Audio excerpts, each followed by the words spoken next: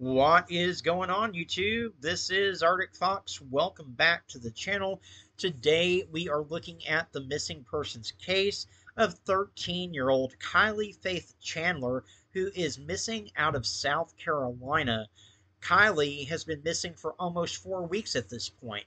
She's 13 years old. She was last seen when she left her home with a 22 year old male named Alex Rodriguez, who was staying in Saluda, South Carolina, and also lived in Gilbert, South Carolina.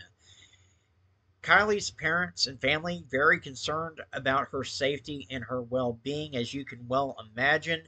Why there's not an Amber Alert out for Kylee at this point is anyone's question I'm getting real tired of seeing cases like this where there should, by all right, be an Amber Alert issued and there's not one, quite frankly.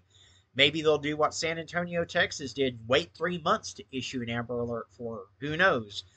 But we do need to get her face out on social media, guys. It's it's very imperative that we get Kylee's face out there Anyone that has information on Kylee or her whereabouts is asked to contact the Lexington County Sheriff's Department at 803-960-2613 or the Saluda Police Department at 803-609-7031.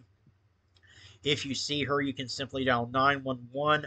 We do need to get this girl's face out there on social media, guys. So do me a favor, give the video a like. It does help more people to see Kylee, and the more people that see her, the better the chances are that we can bring her home safe. Also, if you're not subscribed to the channel yet, consider clicking that subscribe button. It really helps the channel out, and if you ring that notification bell, you'll always be alerted when I post another missing persons video. The most important thing I'm asking you to do above anything else right now is to simply click that share button. Share this to your Facebook, your Twitter, your Instagram, wherever you have social media, guys. It only takes a second of your time to do, and it can make all the difference in the world in whether we're able to find Kaylee and bring Kylee and bring her home safe or not. As always, guys, I do thank you so much for tuning in and watching. I appreciate each and every single one of you.